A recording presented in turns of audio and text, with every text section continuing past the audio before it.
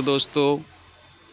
शुरू करते हैं एक नया वीडियो, एक नया मशीन के साथ। इस वीडियो पे आप जो देख रहे हैं, ये एक कंक्रीट पंप है। बेसिकली इसका एप्लीकेशन है। ये ये बिल्डिंग प्रोजेक्ट में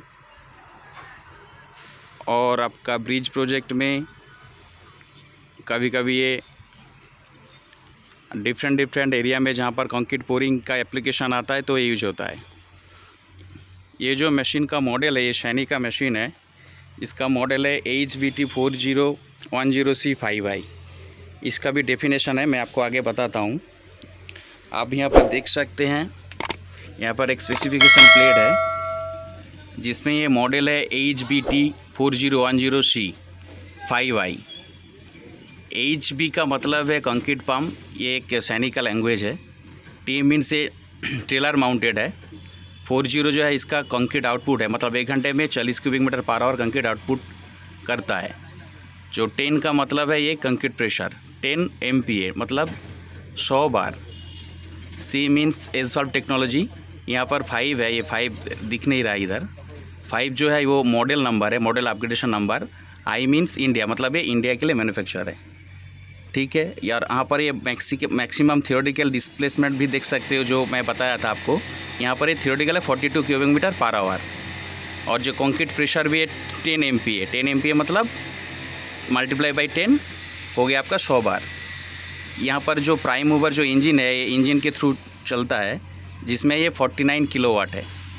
और इसका टोटल ग्रॉस वेट है चार हज़ार छः सौ के जी इसका अगर मैं ओवरऑल डायमेंशन के बारे में बताऊँ तो इसका जो लेंथ है लंबाई में ये पाँच हज़ार छः सौ M M into width मतलब चौड़ाई में ये है, दो हज़ार पचास, और आपका ये हाइट में होगा दो हज़ार पचास।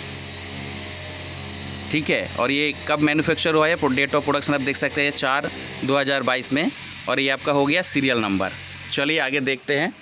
इसमें क्या क्या कंपोनेंट है? यहाँ पर जो आप देख रहे हो, इस साइड में ये है आपका ऑपरेटिंग पैनल जहाँ जिस साइड से ऑपरेटिंग होता है उसको बोलते हैं ऑपरेशन साइड और ऑपरेटर साइड ऑपरेटर साइड में आप देख सकते हैं, ये यहाँ पर एक कंट्रोल पैनल दिया हुआ इलेक्ट्रिकल कंट्रोल पैनल है ये। यहाँ पर है आपका greasing system auto greasing system जब मशीन चलता है तो ये चलता है प्लंजर के थ्रू मैं इसके बाद बाद में इसका ऑपरेशन बता दो कैसे काम करता है। यहाँ पर आप देख सकते हैं कंट्रोल ब्लॉक दिया हुआ है, जो हाइड्रोलिक सिस्टम को सर्कुलेट करता है। यहाँ पर आप देख रहे हैं ये ये जो टैंक है हाइड्रोलिक टैंक जिसका कैपेसिटी है टैंक का 320 litre but total six litre पकड़ लीजिए। मतलब लगभग ये 400 लीटर के आसपास इसमें 380 400 लीटर के आसपास पड़ेगा पूरा सिस्टम में। यहाँ पर जो है आपका ये हाइड्रोलिक लेवल गेज है, जहाँ से आप देख सकते हैं आपका हाइड्रोलिक टैंक में कितना ऑयल है, अभी कम है या ज़्यादा है, जो भी आप यहाँ पर देख सकते हैं। यहाँ पर ये दिया हुआ है एक टेम्परेचर सेंसर जो सिस्टम को बताता है अभी एट प्रेजेंट जब मशीन चलेगा या अभी भी कितना टेम्परेचर है, ये पैनल ऑन करने के बाद पता चलता है।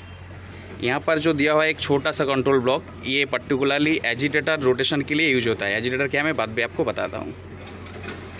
यहाँ पर आप देख सकते हैं पाम्प है, दो पाम्प इसमें यूज़ हो रहा है। ये एक बड़ा जो पाम्प आप देख रहे हो रेड कलर का, ये पम्प ड्राइव सिलेंडर मूवमेंट के लिए यूज़ होता है। और एक छोटा वाला ये जो गियर पम्प है ये आपका एजिटेटर रोटेशन के लिए यूज़ होता है। और ऊपर में आप जो देख रहे हो, ये कूलिंग सिस्टम है, जो हाइड्रोलिक कूलर बोलते हैं, ये भी हाइड्रोलिक के लिए ऑपरेट होता है। ये हाइड्रोलिक मोटर के थ्रू और यहाँ पर एक बड़ा सा एक फ़ैन दिया हुआ है, जो जैसे ही मोटर घूमेगा हाइड्रोलिक मोटर तो फ़ैन को घुमाएगा कूलिंग के लिए। चलिए दूसरे साइड पे आते हैं। यहाँ पर जो है ये टोएबल है, यहाँ से आप खींच सकते हैं मशीन को खींच के दूसरे जगह में ले जा सकते हो। और ये जो है आपका ड्राइंग के लिए और आपका एक गाइड व्हील है। इसमें नीचे आप देख सकते हो, एक व्हील लगा हुआ है। ठीक है, ये आपका ऊपर नीचे करके आप एडजस्ट कर सकते हो मशीन को बराबर प्लेस करने के लिए। पीछे में ये जो है एक प्लेट दिया हुआ है सिलेंडर के ठीक पीछे। ये प्लेट को आप इसमें हाई प्रेशर लो प्रेशर भी कर सकते हो। बाद में एक वीडियो बना के आपको शेयर करूँगा कैसे हाई प्रेशर लो प्रेशर करना है। ठीक है, आइए आप नॉन ऑपरेटिंग साइड में चलते हैं। इसमें जो इंजन दिया हुआ है, वो किर्लोस्कर का इंजन है, जिसका मॉडल है H A four nine four मतलब ये हॉराइजेंटल एयर कूल्ड है। और फोर नाइन फोर का मतलब है फोर जो है, इसका सिलेंडर है नंबर ऑफ़ सिलेंडर मतलब चार सिलेंडर है इसमें। नाइन्टी फोर मीन्स इसका हो गया सीसी मतलब स्टोक लेंथ एक एक सिलेंडर का जो वॉल्यूम होगा, वो 94 सीसी का होगा। यहाँ पर एक ऑल्टरनेटर है, ये स्टार्टर है। स्टार्टर ओके यहाँ पर आप देख सकते हो एक एक्यूमुलेटर दिया हुआ है जहाँ पर नाइट्रोजन स्टोर किया जाता है। आ, ए, जो कि इसका भी एप्लीकेशन है आगे मैं बताऊँगा डिटेल्स में आपको। ठीक है चलिए आगे चलते हैं देख लेते हैं हॉपर। पीछे में जो दो सिलेंडर दिया हुआ है इस पर शिफ्ट करने के लिए। और ये हॉपर है हॉपर का कैपेसिटी है point six cubic metre mean means हो गया आपका छः सौ लीटर के हॉपर का कैपेसिटी है। यहाँ पर अंदर आप देख सकते हो जो एजिएटर ब्लेड है, जो कंक्रीट को जब आप स्टोक नहीं ले रहे हो आइडियल में रहता है तो कंक्रीट तो आपकी प्रोपोर्शन होमोजेनस मिक्स रहे। इसके लिए ये ब्लेड घूमता रहता है और उस मिक्सिंग को बराबर रखता है। यहाँ पर आप देख सकते हो एक एस बल्ब दिया हुआ है तो इस बल्ब के थ्रू कंक्रीट जो है, आगे भेजता है मशीन ये जो मशीन का पूरा व्यू है, और जो एजिटेटर सेप्ट है, इसको घुमाने के लिए यहाँ पर एक मोटर दिया गया है। ये हाइड्रोलिक मोटर एजिटेटर मोटर है। इसके थ्रू जो अंदर का जो ब्लेड है ये ब्लेड घूमता है। लास्ट जो है, इसका जो प्रेशर चेक करने के लिए यहाँ पर एक वॉल कोक दिया हुआ है। Agitator pressure normally one ten bar रहता है।